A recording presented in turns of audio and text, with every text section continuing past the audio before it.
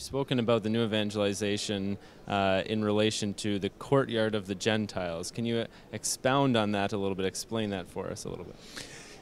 Il cortile dei gentili di sua natura risponde forse a una componente che era caratteristica della Chiesa delle origini e che veniva espressa con un termine greco che ormai è diventato anche abbastanza comune nel mondo ecclesiale, che è la parola kerigma, cioè la parola annuncio, l'annuncio di base che viene fatto in un orizzonte che è lontano, che forse si interessa solo vagamente di Dio che forse attende anche qualche voce ulteriore.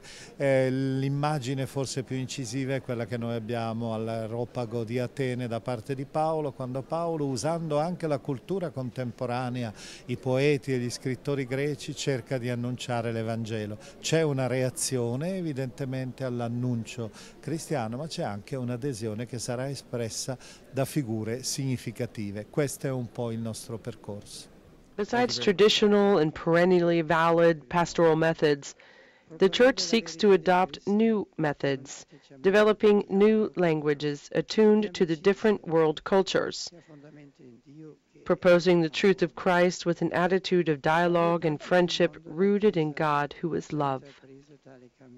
In various parts of the world, the Church has already set out on this path of pastoral creativity so as to bring back those who have drifted away or are seeking the meaning of life, happiness, and ultimately, God.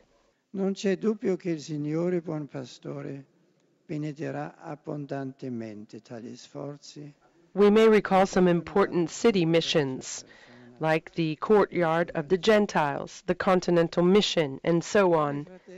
There is no doubt that the Lord, the Good Shepherd, will abundantly bless these efforts which proceed from zeal for his person and his gospel.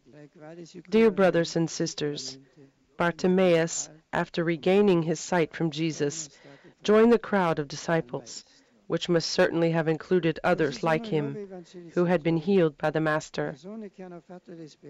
New evangelizers are like that people who have had the experience of being healed by God through Jesus Christ.